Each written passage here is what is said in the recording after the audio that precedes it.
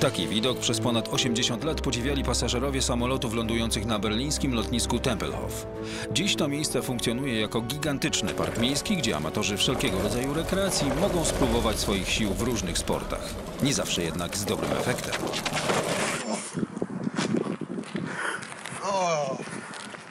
No to chyba pojeździłem. Dawaj.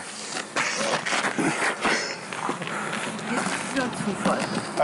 Przyczyny wypadku Marcina do dziś pozostają nieznane. Jedna z teorii mówi, że to przez brak opon Goodyeara. Ale jak to się mówi, show must go on. Spróbujemy domowym sposobem nakręcić hollywoodzkie zdjęcia, żeby pokazać, że się da. Tak się kręci niskobudżetowe produkcje. Nie mamy niestety wózka z kamerą, ale mamy taśmę klejącą, która w podróży jest chyba jednym z najważniejszych akcesoriów. Teraz przyczepimy do tego GoPro i będą takie cacuszka, jak świat nie widział. Zobaczmy, czy ten patent działa. Owszem, działa, jednak tym razem pan redaktor postanowił odpychać się jakby nieco ostrożniej.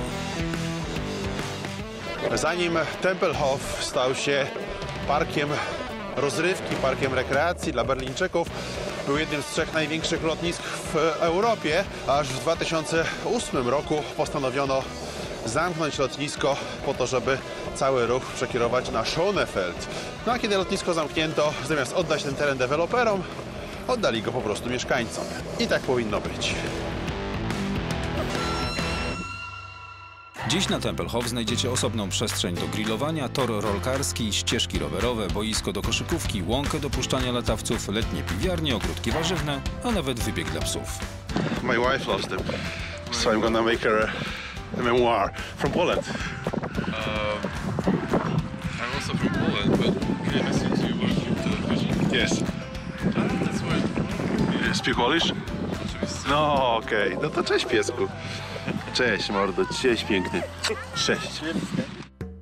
Tempelhof pełni dziś jednak rolę nie tylko rozrywkową. Tuż za siatką, przez którą zerkają beztroscy spacerowicze, znajduje się obóz dla uchodźców pochodzących głównie z Syrii, gdzie w specjalnie przygotowanych kontenerach żyje kilkaset osób. Nasz dron nie jest jedynym statkiem powietrznym w okolicy, dlatego za chwilę musimy znikać z tego nieba, gdyż kawałek dalej ludzie próbują latać na paraglidach, paralotniach, parapsychologicznych urządzeniach, których e, przeznaczenia nawet nie podejrzewam, natomiast zdaje się, że będziemy im przeszkadzać. Zwłaszcza, że nasz dron nie miałby dużych szans w starciu z paralotnią. Ich widok nikogo tutaj nie zaskakuje. To idealne miejsce treningowe dla miłośników podniebnego szybowania.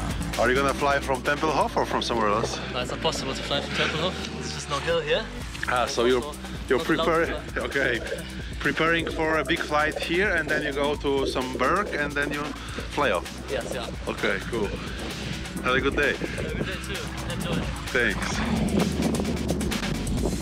Tempelhof jest e, olbrzymim miejscem. Żeby przejść to całe pole w ciągu jednego dnia, trzeba na to paru godzin, ale dzięki temu każdy, kto ma jakąkolwiek pasję wymagającą miejsca, może tu znaleźć e, przestrzeń dla siebie.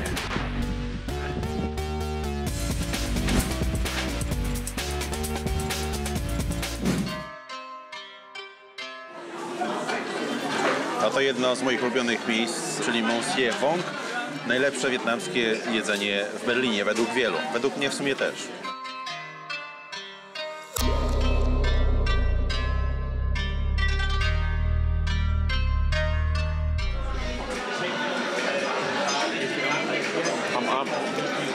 Fobo, Fo Hanoi, Spring Rollsy i takie coś.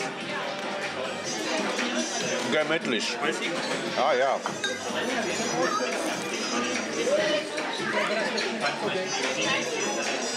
Teraz będę prawdziwą Spice Girl. Może się okazać, że po tym co zrobiłem tego nie zjem, ale przynajmniej ładnie wyglądało w obrazku.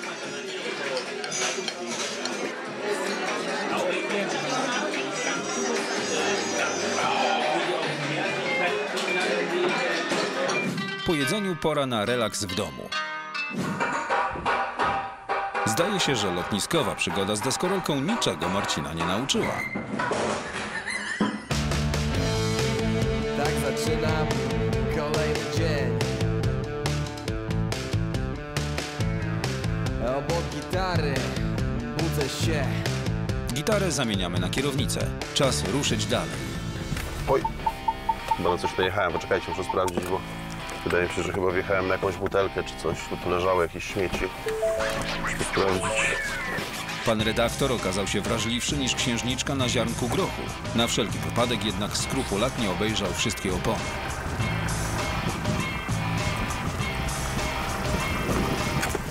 Nie, wszystko okej, jakiś kamień leciał po prostu przy krawężniku. Nie spodziewałem się tego. Dobra, jedziemy.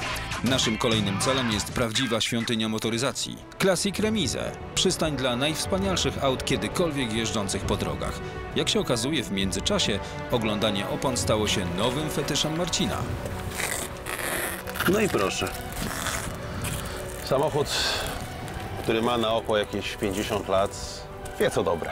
Bo starsi ludzie i stare samochody znają życie, jak nikt inny. A oto miejsce, którego nie może przeoczyć w Berlinie żaden fan motoryzacji. Dawna zajezdnia tramwajowa, która zamieniła się w raj dla miłośników czterech kółek i zapachu benzyny nad ranem. Dla tych, którzy zamiast kremu wsmarowią w ręce smar z kalamitki. A najlepsze jest to, że ta przestrzeń dostępna jest dla odwiedzających zupełnie za darmo. Ten mokry sen każdego fana motoryzacji to wszystko w jednym, czyli trochę garaż klasycznych samochodów, gdzie prywatni właściciele trzymają swoje cacka, trochę komis, gdzie można kupić klasyczne auto, ale też miejsce, gdzie można je serwisować, a nie jest to łatwe, jeśli jeździ się na przykład ISO albo De Tomaso, albo Lagondą, albo Astonem Martinem V8, który wydaje się tutaj najbardziej pospolity. Rzeczywiście, tak wspaniałe jak Mustang czy Corvette, które na ulicy podniosłyby ciśnienie wszystkim petrolheadom, tutaj skromnie ukrywają się w cieniu takich rarytasów jak LaFerrari czy Mercedes Gullwing. Wśród ich tropicieli można spotkać również najmłodszych fanów motoryzacji. Cześć. Cześć, Marcin również. Cześć. Jak się młodemu podoba? Lubimy klasyki obaj.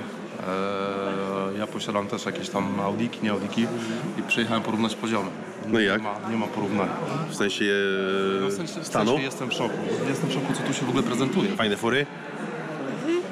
A dla tych, których nie stać na auto warte milion euro lub więcej, pozostają dobrze zaopatrzone sklepiki z modelami wymarzonych super samochodów w każdej wielkości i na każdą kieszeń.